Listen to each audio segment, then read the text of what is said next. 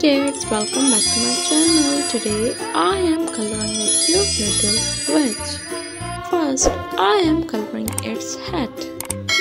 Children, I am telling you a story about the witch in the forest. There once was a witch named Crafty. She lived just outside the village of Garden, a village for people whose children were always sick. There was a diagnosis from any doctor and it only affected children. Some lived, most died, and the parents watched them suffer. The witch was not really happy with the solution, but there was nowhere else to go. Here, the town people were too miserable to try the witch. As of late, the children of the town have been acting strange. Most of them were always as asleep, never to be woken, and regularly daily activities were still attending to thought. They were seen as zombies. Some were almost buried, but the child would always say, I am alive, considered this no more.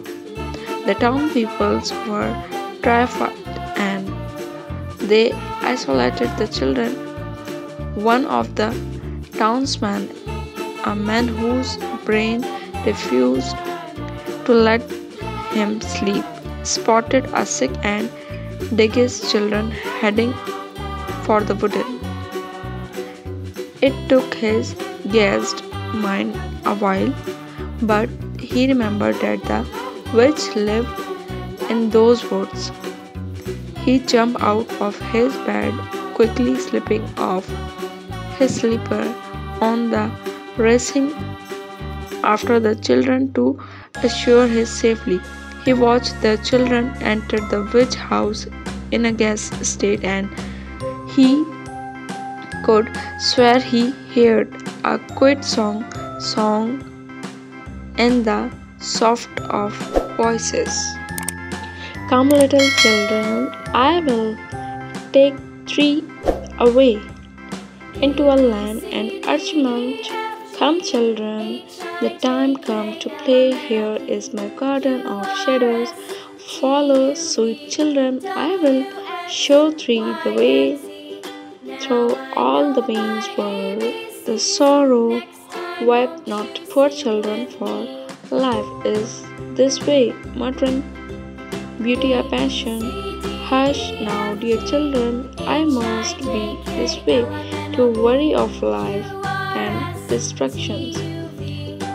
Reset now, my children, so soon we will away into the clean and the quiet. Come, little children, I will take three way into a land of archman.